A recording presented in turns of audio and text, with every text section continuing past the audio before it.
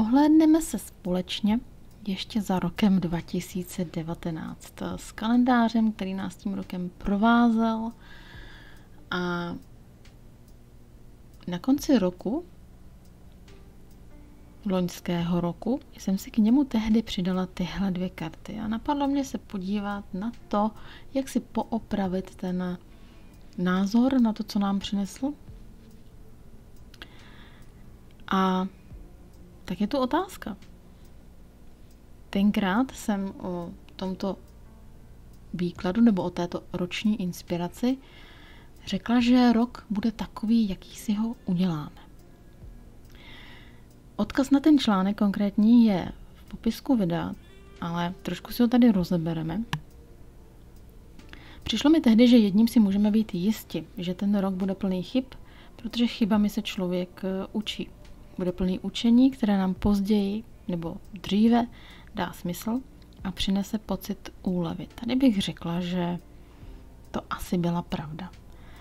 Že ty chyby byly hodně znát a bylo třeba se z nich poučit a pak už šly ty věci mnohem lépe. Taky bych řekla, že obecně ten rok přinesl možnost eh, nějakých náprav. A víc jsme byli tlačeni k tomu, abychom si neškodili. To ostatně bude hodně se prolínat ještě do toho roku 2020, takže budeme muset být na sebe přísní a co jsme se v roce 2019 naučili, to bezpodmínečně využijeme i v dalších letech. To je nejspíš víceletý proces do budoucna. Už nám nebude nic moc odpuštěno a nějaké hříchy se hodně rychle budou manifestovat do, do něčeho neúplně příjemného. Také jsem říkala, že ten rok bude plný radosti, protože ta je koření života a pomůže nám mnohé problémy vyřešit. A je pravdou, že právě ten uvolněný přístup, nebo ten radostnější přístup, hodně věcí dokázal vyřešit. Bude plný nových možností a šancí, které tu budou proto, abychom překonali sami sebe a vydali se i neznámými cestami. Mnohdy i s rizikem chyb. A tady musím říct, že i potom, jak jsem tak pozorovala ty vaše komentáře, tak to překonání sebe samých a vydání se na neznámé cesty bylo hodně často pak spojeno s tím, že jste vůbec nelitovali a že vám to přineslo obrovské, úžasné změny do života. A všimla jsem si toho hlavně v době, myslím, červenec, srpen, možná září. Tam to byl úplný boom takových těch splněných snů. Tak. Eh, vzala jsem tenkrát ty dvě karty, co máme rozvíjet tak nejčastěji, jak jen to půjde. A to byl právě ten král holí a svět. A k tomu jsem tehdy napsala.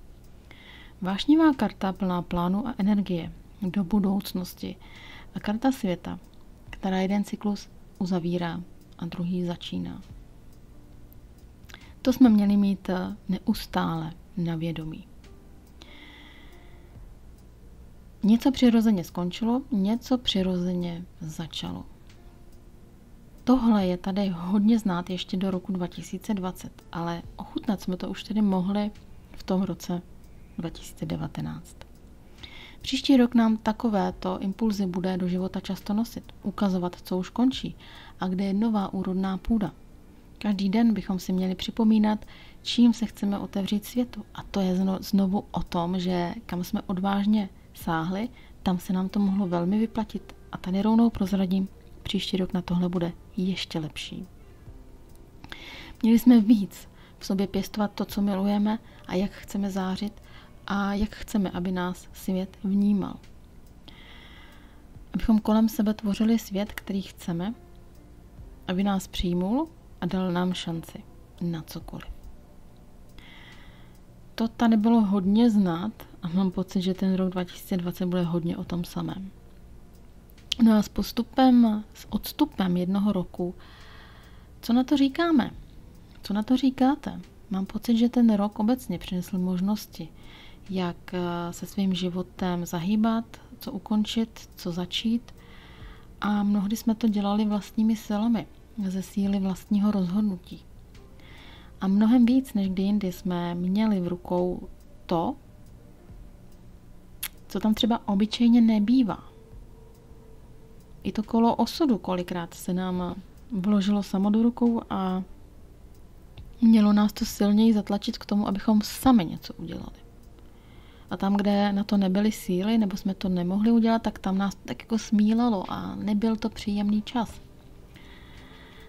Dala jsem si teď ještě doplňující kartičky, které ukazují na to, že tento tlak byl hlavně tam, kde sami sebe moříme v nějakém pocitu nedostatku, kde se necháváme zatlačovat do kouta ostatními a nemáme sílu se bránit, nebo sami sebou, kde sami sobě škodíme.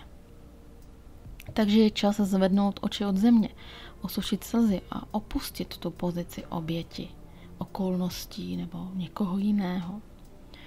Mohlo to být hodně nepříjemné a pokud jste zažívali nějaké ty nepříjemnosti tohoto typu, tak eh, stačí jenom to v ten další rok opravdu udělat podle sebe.